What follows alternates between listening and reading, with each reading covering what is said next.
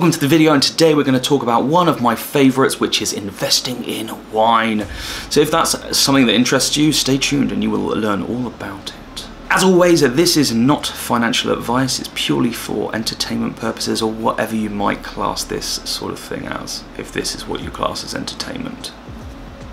Today we're talking about a company called Vint, V-I-N-T. As you might well have seen from some of my other videos, and if you haven't, check them out. Don't forget to subscribe, because 70% of you are not. They were Which means that you probably should. As I said, from the rest of my videos, you will see that I like to find gems when it comes to investing or alternative investments as well. And that's where I found Vint. From my previous video, I was looking for my top tips for investing in different things. I went through well you'll have to check the video out really but one of them was wine and I previously found another company called Convi again link in description but this time I found a company called Vint and so I looked into what they offer and they are incredibly interesting when it comes to investing in wine. Wine? I love wine. Red wine? I love red wine. Now for the most part when you want to invest in wine historically you would have to do so with quite a lot of cash and I mean like chunks like tens of thousands it's not a small thing to do. And you can still do that now through partners, but again, you have to lump up some serious cash. And we're talking the bottom lines in the tens of thousands, and most people just cannot do that. So Vint managed to make this more affordable to the everyday wine connoisseur, or people that just want to invest in something a little more stable. Why would you want to invest in wine? Well, that's quite simple really, especially at the moment when you've got the R word, on the cards, you want something a bit more stable or a bit more reliable. And this is where wine historically, being a tangible asset, hedges really well against the stock market.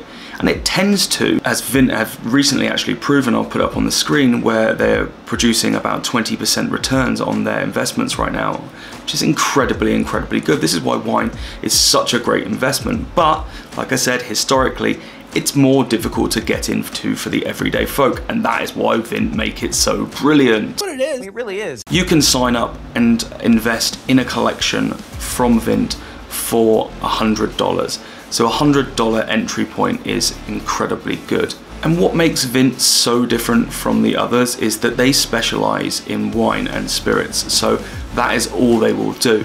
They don't work with any external partners when it comes to their investments. They do all these things themselves.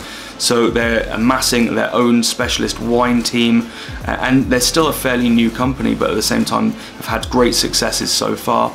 They've out, they've sold every single collection in minutes that they've had. They put these collections together themselves, working with vineyards, and their aim is to become experts in this field. So for them, it's not just about holding for the longest period of time. They will look at a collection, you invest in that, and they will sell to maximize the profits for you as an investor. This means there is no fixed amount of time that it's fixed in that collection for, but if anything is sold as a part of that collection. So you can have a partially sold collection etc etc that money is then paid back to investors. And the way that Vint makes their money is they take a fee up front. So their fee is an upfront fee on the collection. So when they sell the collection they take the money at that point. When it comes to the profits from the investments all of those go directly back to the investors, so that's you and I. Vint is an American company and you have to be American to be able to invest, which is a bit of a downside for me. On the flip side, there are ways that I can invest through things like TribeVest, which I will be going into in a separate video because I think it's quite a useful way to, for people outside of the US to be able to benefit from some of the things that only US market can take advantage of. So I'll be doing that in the future, but just for this right now, you have to be an American citizen to be able to use Vint. And if you are a US citizen and you can invest in Vint, you can also do it through things like your 401k and stuff like that. So you can add this as a part of that, which I think is a really nice way of getting the benefit of this way of investing through wine, through another means as well. Bonus. And when I say they don't work with partners, they do work with partners when it comes to things like storing their wines. They have about 20% of their wine in the US, where you have US wines, and then the rest of it is spread out between Europe and the UK. And that is because there's no point in moving the wine from where it is. It's the best place to be able to buy and sell it. So they keep it closest to the places that they're going to be liquidating it because there's no point in moving it around. It's simple. Just hired a master of wine to lead their wine team as well. So again, I think this is an absolutely fantastic time to be investing in wine, especially through someone like Vint. The first collection they opened up to sell was about a year ago now, just over a year ago, I think it was uh, March 2021. Just managed to sell a portion of that collection for 20% profits. So like I said, they're, they're managing based on their current trajectory around the 20% mark for returns, which per annum, which is absolutely incredible. Right now they're focusing on growing as a company. They've already done over a million in sales through their collections and that's just in the last year they sell out their collections so fast they're just trying to onboard more and more at this moment hence the reason for growing their wine team so they can offer more collections to investors. Uh, but as soon as they go up they sell out. This shows how popular this sort of investing is.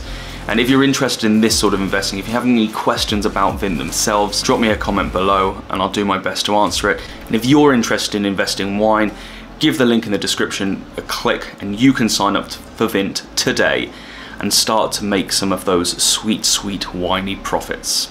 Hope you enjoyed the video. Stay tuned for the next one. Don't forget to like and subscribe, and I'll see you on the next one. Peace.